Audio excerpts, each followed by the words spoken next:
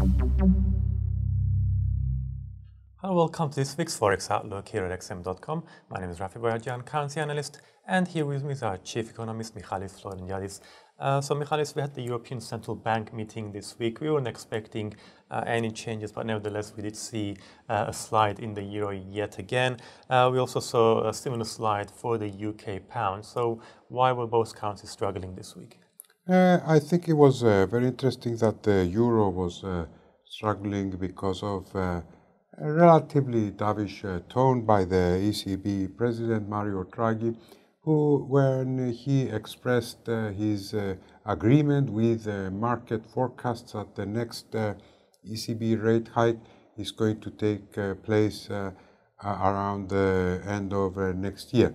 He didn't exactly say this timeline, but he said that markets have uh, understood uh, or he was in agreement with what the markets were uh, projecting, and this is what uh, markets are projecting uh, currently. So this is obviously a time that is a long way off, so we have steady interest rates for a very long time.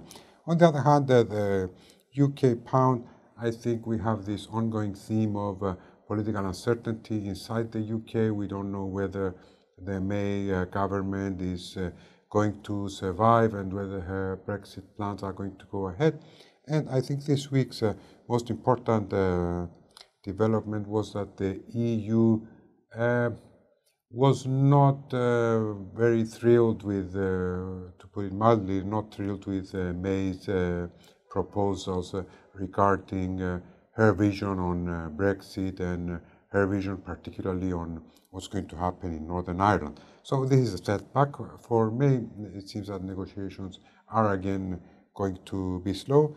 Uh, there was a positive uh, development this week when it seems that the threat of a trade war, at least between the US and the European Union, as well as the US and its NAFTA partners, seems uh, to be uh, less because there was this agreement between uh, President uh, Trump and uh, Jean-Claude uh, Juncker about having talks, refraining from more from more tariffs, maybe the EU undertaking a commitment to buy more U.S. goods. So this, I think, helped risk sentiment, which in turn helped U.S. Treasury yields, which of course uh, boosted the dollar, which had a fairly uh, positive week. So having said this, Rafi, what do we see uh, next week? And let's start with the Bank of Japan because there are reports that the Bank of Japan may uh, make some changes to its policy uh, next week, may announce some changes. What do you think is going to happen? Uh, that's right. We've had some reports circulating suggesting that the Bank of Japan um, wants to make some tweaks to its policy. Um, the indications are that they merely want to make changes in order to make their massive stimulus program more sustainable, given that they're going to have to maintain it for far longer than they initially uh, expected to, given that inflation is still running well below uh, 2%.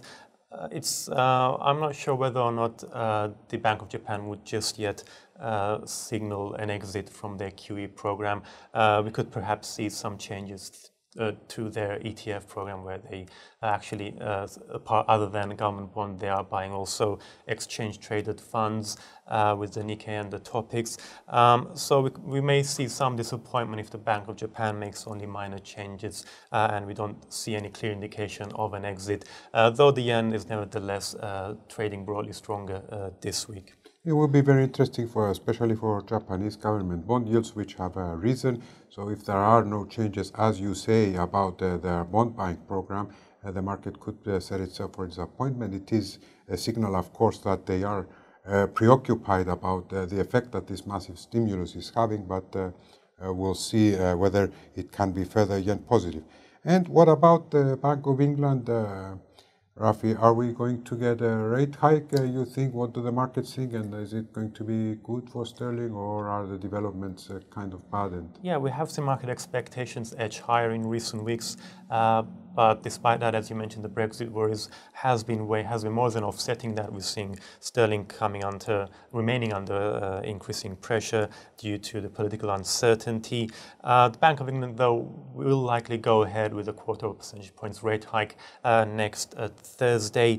Uh, but also important is going to be what they're going to signal about future rate hikes. If we do see a tight vote um, with um, perhaps say um, six or less monetary policy committee members voting for a rate hike, that would probably be perceived as uh, somewhat dovish, uh, and the rate hike might not do much in boosting uh, sterling next week. And they might, of course, signal that uh, they are not embarking on a rate uh, hike uh, campaign, that this is a, a one-off event, and they are likely to reassess in the future. In this case, it could be an opportunity to uh, sell the sell the pound actually.